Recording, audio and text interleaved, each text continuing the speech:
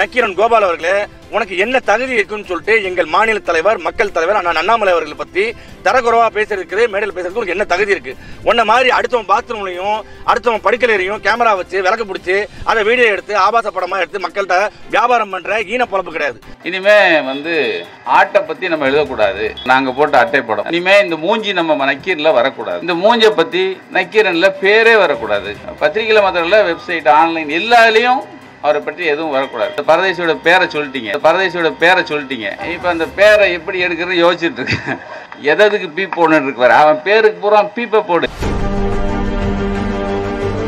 அஸ்லாம் வலைக்கும் நான் உங்கள் ஏஆர் பாஷா. பாஜக மாநில துணைத் தலைவர் சிறுபான்மையினர் அணி. இந்த காணொலி வேற யாருக்கும் கிடையாதுங்க. திமுக காலை காலங்காலமாக நக்கி பிழைத்துக் கொண்டிருக்கும் நக்கீரன் கோபால் அவர்கள் தான்.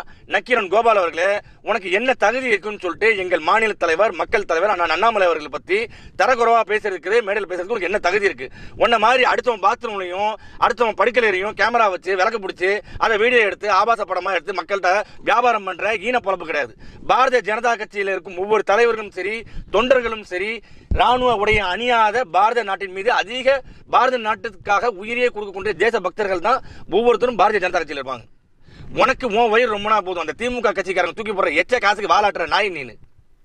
உனக்கு உண்மையிலுமே தமிழ்நாட்டு மீதும் தமிழ்நாட்டு மக்கள் மீதும் நலன் இருந்திருந்தா இந்த ஊழல் செய்து காலங்காலமாக ஊழல் செய்து தமிழ்நாட்டையே அழித்து கொண்டிருக்கும் இந்த திராவிட கட்சிகளுக்கு நீ சொம்பு பிடிக்க மாட்டேன் ஆனால் உனக்கு பாரதிய ஜனதா கட்சி இங்கே வந்துடக்கூடாது. வந்தால் ஓம் பழப்பு கூடாதுல்ல ஆட்சிக்கு வந்துடக்கூடாது. பாரதிய ஜனதா கட்சி கண்டிப்பாக ஆட்சிக்கு வரத்தான் போகிறது. அது ரொம்ப நேரத்தில் ரொம்ப தூரத்தில் கிடையாது அது. வருகின்ற பாராளுமன்ற தேர்தலில் எங்கள் மக்கள் தலைவர் அண்ணன் அண்ணாமலை அவர்கள் தலைமையில் மோடி அவர்களின் பொன்னான ஆட்சி தமிழகத்தில் தாமரை மலர்த்தான் போகிறது. அன்னைக்கு இது போன்ற கேவலமான போலியான ஊடகங்கள் தமிழகத்தை விட்டு துரத்தடிக்கப்படுவதற்கு என்ன முதல் காரணம்? இது போன்ற ஒரு சில கேவலமான ஊடகங்கள் இந்த திராவிட கட்சிகளுக்கு கொடப்பு காலங்காலமாக முட்டு கொடுக்கறதுனால தான் மக்களின் மக்களை ஏமாத்துகின்ற அந்த அந்த மீடியாங்கிற அதாவது ஒரு பத்திரிகைங்கிற ஒரு போர்வையில் மக்களை ஏமாத்திட்டு இருக்காங்க. கண்டிப்பா முதல்ல வேரோட அறுக்க அறுக்க அறுக்கப்பட வேண்டியது இது போன்ற போலியான இந்த பத்திரிகைகள் தான். இந்த காணொலியை பார்த்து கொண்டிருக்கும் மக்கள்கிட்டையும் ஒரு அன்பான வேண்டுகோள். இது போன்ற நல்ல தலைவர்களை ஒரு சில ஊடகங்கள் கேவலப்படுத்தும் போது மக்களாகிய நீங்களும் பார்த்துக்கிட்டு சும்மா இருக்கக்கூடாது ஏன்னா இதே போல தான் கேப்டன் விஜயகாந்த் அவர்களை தொடர்ந்து தவறான கருத்துக்களை பதிவு செய்து விமர்சனம் செய்து செய்து செய்து இன்னைக்கு நம்ம ஒரு நல்ல ஒரு தலைவனை இழந்துட்டோம். இப்போ அடுத்தபடியாக அண்ணாமலை அவர்களையும் இதே போன்று சித்தரிக்கப்படுகிறார். இதுக்கு முதல்ல மக்களாகிய நீங்கள் தான் குரல் கொடுக்கணும்.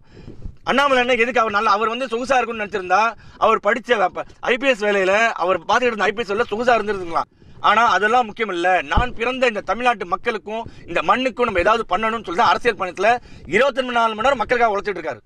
அப்பேற்பட்ட தலைவரை நாம் இழந்துட்டோம் அப்படின்னா இனிமே இந்த தமிழகத்தை மீட்டெடுப்பதற்கு இனிமே யாராலையும் முடியாது. அண்ணாமலை அண்ணனை விட்டோம் அப்படின்னா தவற விட்டுட்டோம் அப்படின்னா யாராலையும் முடியாது. அதனால மக்களாகிய நீங்கள் தான் இதுக்கு முதல்ல கண்டன பதிவு பதிவு பண்ணணும். நன்றி ஜெயஹிந்த்